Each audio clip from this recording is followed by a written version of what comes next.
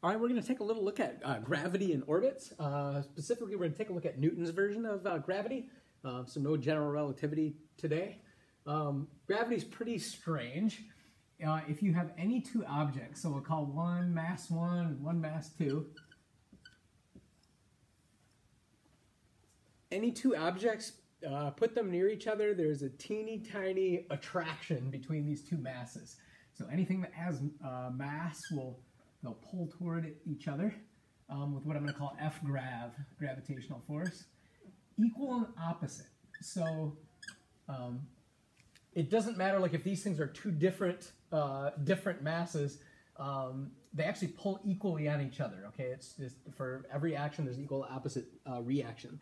So the Earth pulls on you with your own weight, um, and you pull on the Earth with exactly your weight also. Um, and so that's what's going on here, equal and opposite force. So don't be faked out if you're given a situation where masses are actually different.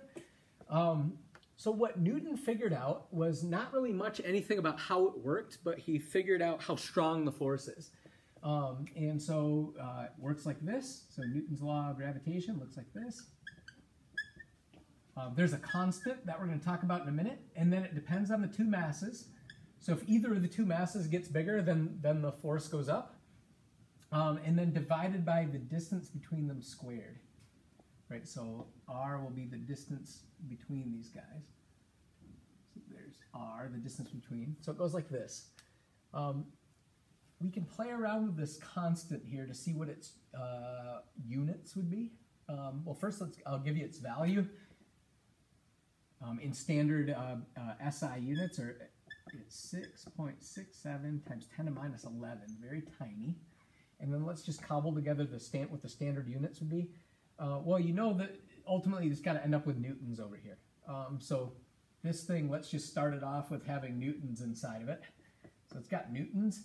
And then what we need to do is cancel out these two kilograms that are coming up, right? Kilograms times kilograms.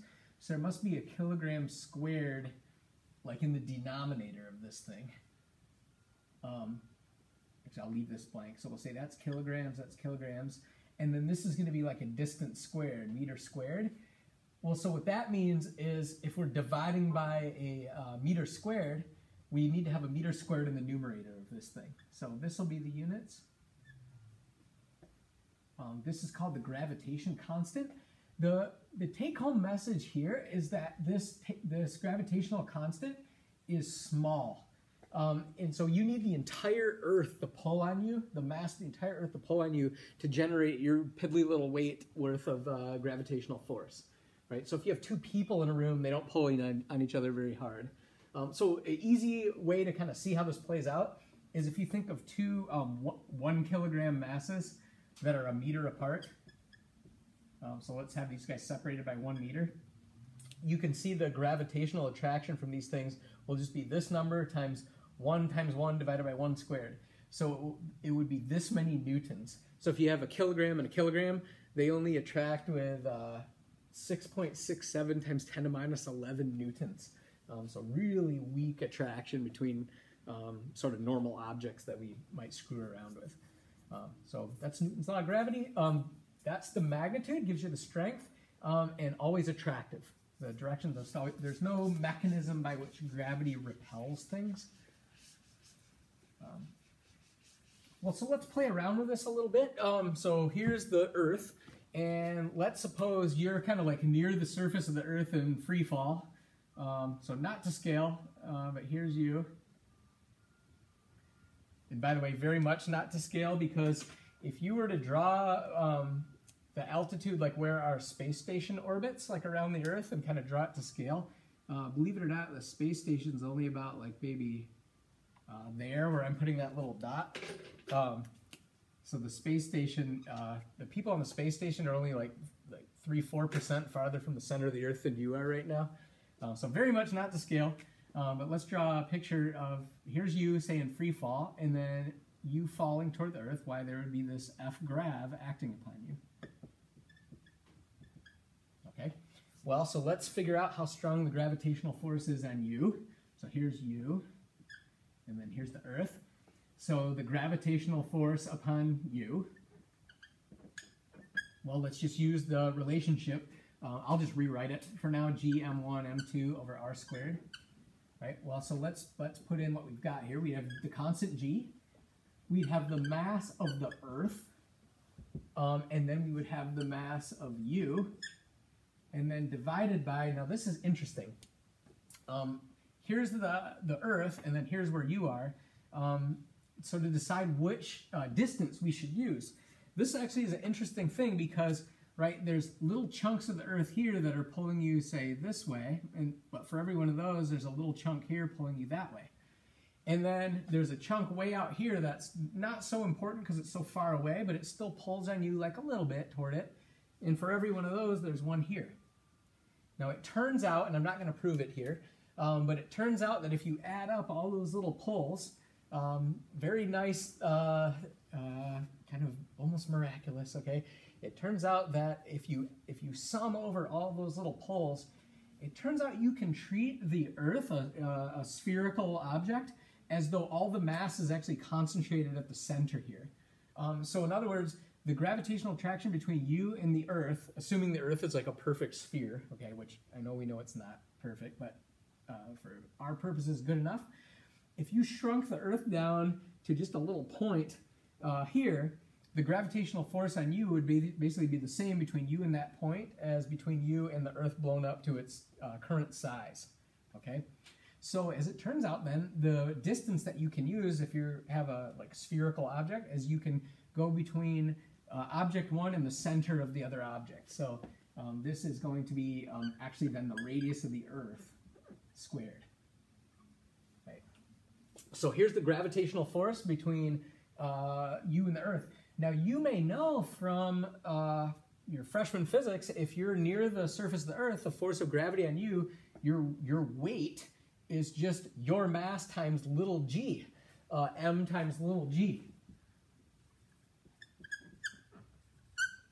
Okay, and so what's what that means then is if you look at these numbers here, and I can give you some data for this, so G itself is the 6.67 times 10 to the minus 11. Um, what was it again? Newtons meter squared over kilogram squared. Um, and then mass of the Earth, let me give you that. Um, it's like 5.97 times 10 to the 24th uh, kilos. Uh, pretty healthy, quite a few kilos. Uh, and then the radius of the Earth in meters is like 6.37 uh, times 10 to 6 meters. So it turns out if you plug these three things into there and calculate away, um, what's kind of neat is if you calculate that, you'll get like 9.81. Um, you can either think of the units as being newtons per kilogram or just meters per second squared. You'll recognize that number.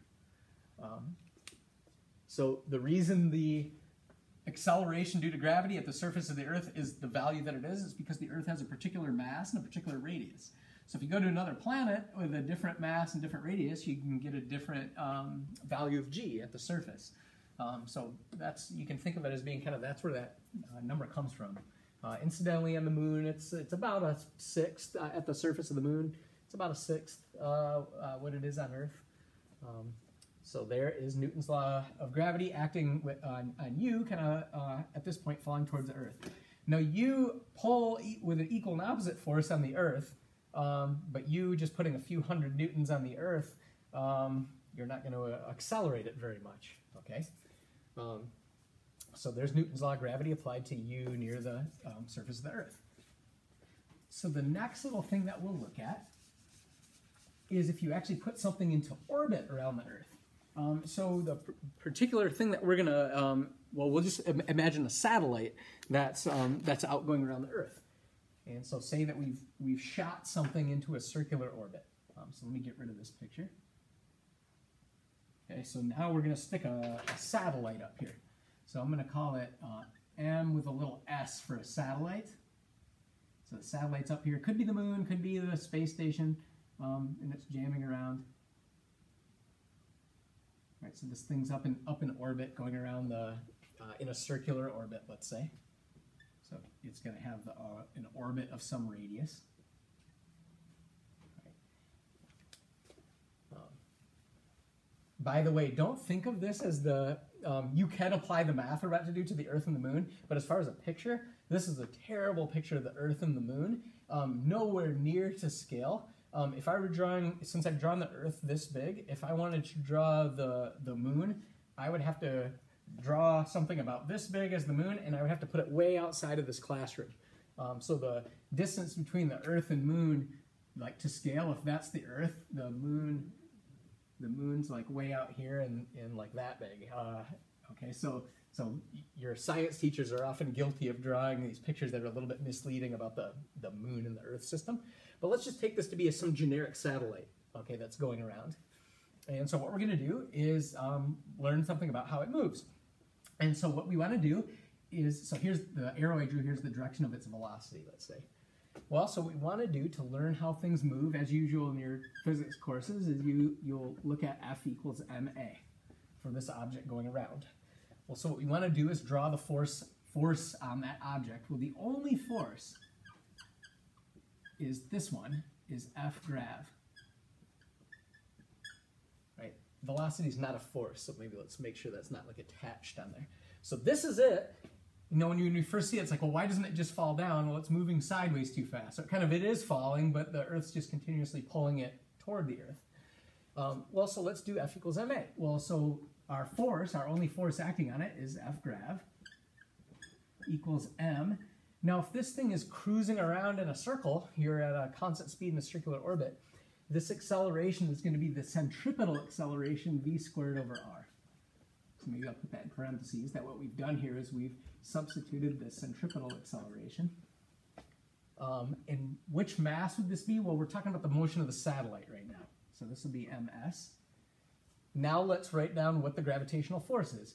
So that's going to be big G times mass of the Earth, mass of the satellite, divided by the radius of the orbit squared, um, equals uh, mass of the satellite, v squared, divided by the radius of the orbit what you notice right away is that the mass of the satellite cancels out. So that's important because what it means is you can put a space station in orbit at that place, or if you wanted to put a paperclip in orbit at that place, they'd have the same um, velocity to orbit with that particular circular um, uh, radius. So what you end up noticing here is we basically have an expression, if we bring the r over to the other side, is we have an expression that relates the radius of the orbit um, to a particular speed. I'm just going to leave it in terms of v squared because you can know how to take the square root of both sides. So what's important about this is given a particular radius at which you want a circular orbit, you have to go at a certain speed to be at that orbit. If you change the speed, you're not going to be orbiting at that um, at that particular radius. Okay, um, so you if you want to orbit in a particular place, there's a very particular speed you need to go to be at that, um, at that place.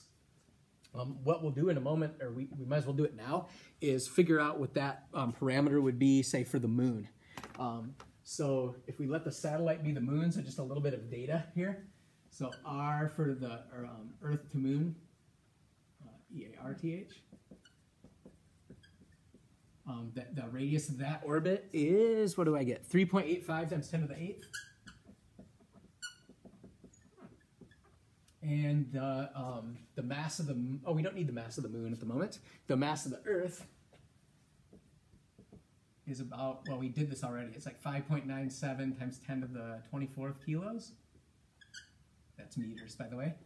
Um, so let's let's put that in there and figure out how fast the moon goes when it's when it's in its orbit.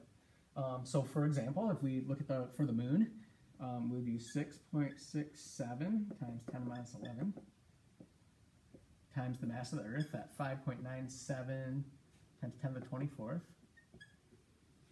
um, divided by the radius of that orbit, which is 3.85 times 10 to the 8th. Um, that equals v squared. So we're going to have to remember to take the uh, square. All right, so it turns out when you do this, you'll get a velocity of um, 1,016 meters per second. Um, so just to get a, uh, I guess I would round up to 1017. If you, um, just to get a rough idea of what that is, I mean, that's, that's pretty fast and, and uh, over a little over a kilometer uh, every second. If you divide that number by about 343, that would give you about how many times the speed of sound on Earth that is. Um, so it's it's very close to uh, it's uh, Mach 3, so it's like Mach 2.97. So I'm going to put it like this. It's about um, equivalent to Mach 3 for th something traveling at, on, on Earth. Um, so three about, about three times the speed of sound on Earth. So moon's jamming right along uh, uh, as it cruises its way around, uh, but it's got a long way to go. Um, so as you know, it should take about a month to go around. But what we can do now is figure out exactly how long it takes to uh, to go around um, using now that we know its velocity. Um, so what I'm going to do is go back up here to our expression for the velocity, and what we're going to do is relate um, this expression to how long it takes to go around the um, around in its circular orbit. Well, velocity, as you know, is distance per time. And so what we can do is we can say, well, substituting for v, what I'm going to do is say, well, what distance do I go? Well, I go in orbit, 2 pi r. And what time is relevant for that orbit? Well, that would be the special time called t, or the period um, of that orbit. So this would be the time to complete one orbit. So what we're about to do now then is we have these two things being equal. So now what we're about to do is be able to relate the, ra the uh, radius of the orbit to the time it takes to complete an orbit.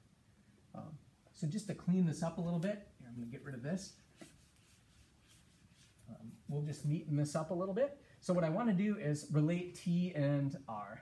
Um, so what I'm going to do is, let, let me just rewrite one line of algebra then to make it easier to follow. So we have GME over R equals, and then this is going to be 4 pi squared R squared over T squared. And so what you can then do is let's just solve for the period, okay? In fact, what I'm going to do to keep it neat and clean is I'm going to solve for T squared. So bring the T squared over here and bring everything else on the other side. So you get 4 pi squared over GME. That's a G, not a 6. Uh, 4 pi squared over GME, and then R cubed. So what this expression does is it relates the, well, the square of the orbital period to the cube of the radius. Now, curiously enough, this uh, was noticed in the time of Kepler that from painstaking observations of, of orbits, that the, um, the square of the period was proportional to the cube of the orbital radius, but they didn't know why. Um, and so then uh, after Newton came along, we were able to derive why this is the case, right? So um, it's a property of planetary motion that the square of the period is proportional to or goes like the cube of the radius. And so what we can do is just plug some numbers in to see what the um, period of rotation of the moon is. Um, and so we can we can just plug in the data kind of that we already have.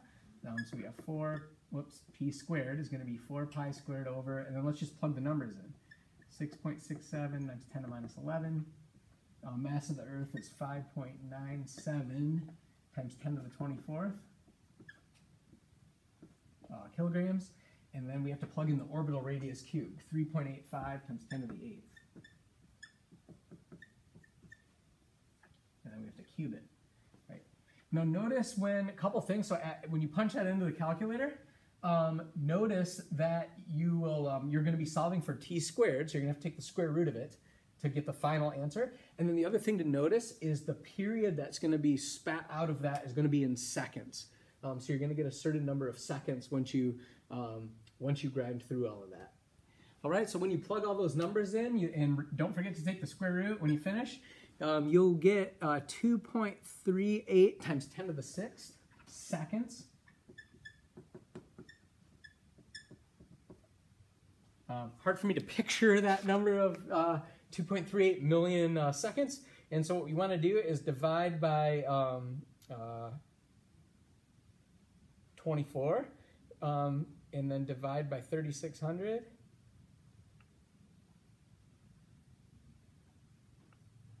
to get the number of days that it's going to take. So when we do that, you get 27.53 days. which, as you know, for the moon, well, it takes about a month for the for the moon to go uh, go around the Earth. Um, so there, with a quick kind of you know two-liner calculation, um, you can figure out um, how long it takes for something orbiting at a particular um, at a particular altitude to uh, to go. What you'll find if you do the same thing for the space shuttle, say where it used to orbit, or the International Space Station, um, it will orbit about every 90 minutes. It's actually much, much closer. So while the moon's way out there taking a month to go around, um, the, the International Space Station is like somewhere here um, and taking only about a, an hour and a half to go around. Um, as you as you find if you orbit right at the Earth's surface, like at the at the treetops, uh, kind of dangerous. Um, but you could, uh, it, it's a little bit under an hour and a half for the um, uh, uh orbital period at that altitude.